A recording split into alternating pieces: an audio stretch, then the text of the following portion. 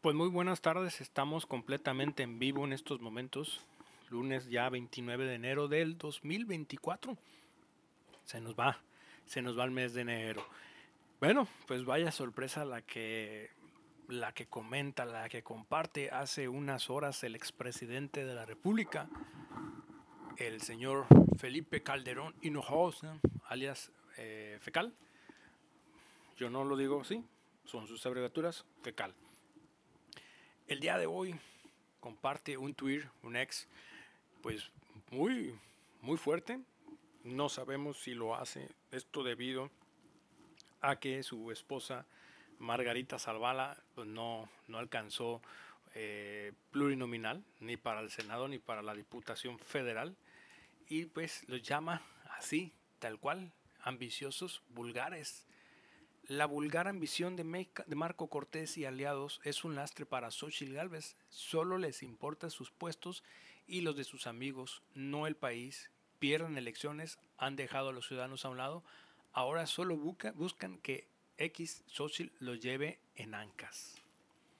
Vaya, vaya pues, eh, publicación de Twitter el día de hoy de Felipe Calderón, explotando literalmente, porque pues el presidente de la República, expresidente, perdón, pues arremete y todo esto debe de ser lo más, lo más seguro que, eh, pues, porque una, no les dio las la candidatura plurinominal a su señora esposa, y la segunda, porque también no hay eh, plurinominales allegados a Felipe Calderón.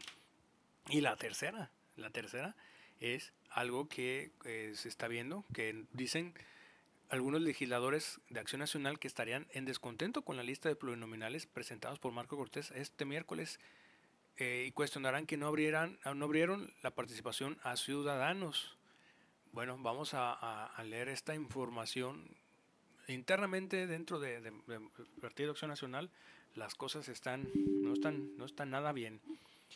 Dice, fuentes de político MX nos revelaron que los panistas expresaron que los dirigentes partidistas conservaron sus privilegios y no cumplieron con sus promesas de abrir la participación a ciudadanos, de abrir espacios a candidaturas sociales. Marco Cortés, el líder nacional, el líder nacional del Partido Acción Nacional, argumentó que se armó una lista competitiva para pelear la mayoría en los congresos con la fuerza de la candidatura de la candidata presidencial Xochitl Gávez, pero también con la fuerza de los liderazgos locales. El conjunto de buenos candidatos fortalece el proyecto Nación para ganar la elección del 2 de junio, lo dijo Marco Cortés.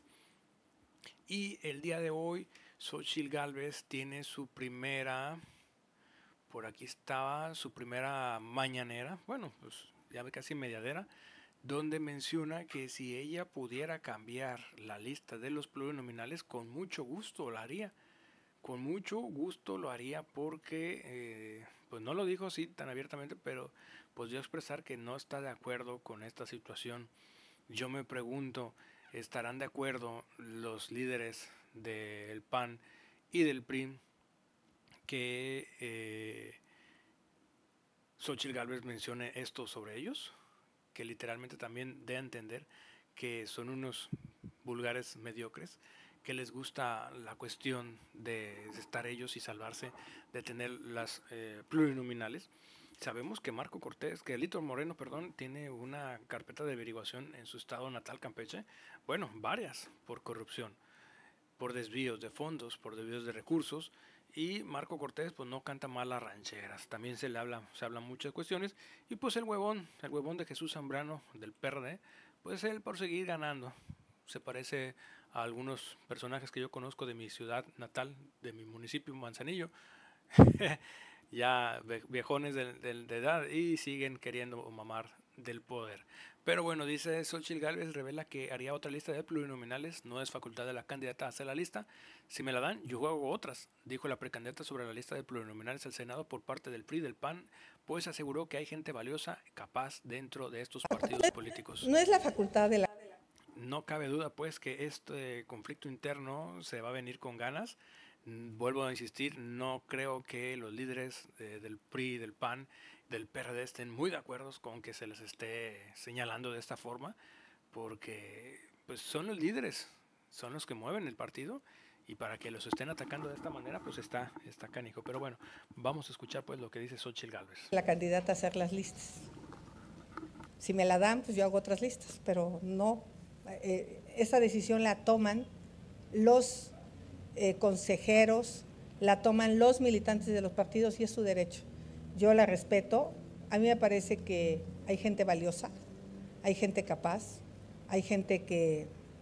Pues yo veo un Mario Fabio Beltrones y me da gusto que regrese al Senado gente que sabe, porque en el Senado vimos muchas ocurrencias y mucha incapacidad. Entonces, yo, yo celebro que haya gente capaz, es, es facultad de los militantes poner a los presidentes de los partidos, con los cuales tengo una buena relación, la verdad.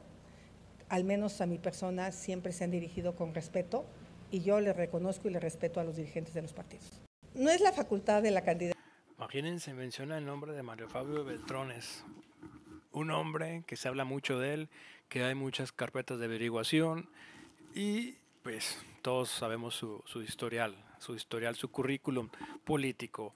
Quiere regresar al Senado de la República, quiere seguir estando dentro de. Yo soy de la idea que se le debe de dar a los jóvenes, a nuevas caras, a nuevos personajes, se les debe de dar la oportunidad. Esto de las candidaturas plurinominales, pues pues no debe de existir. Pero bueno, eh, nos estamos desviando un poquito. Vamos a platicar en otro video sobre ese tema. Pero por lo pronto, pues Felipe Calderón arremete contra Lito Moreno y lo llama, contra Marco Cortés también, los llama ambiciosos vulgares. Bueno, se va a poner la cosa sabrosa dentro del Partido Acción Nacional. Por lo pronto, nos vemos en un siguiente video. Me canso ganso.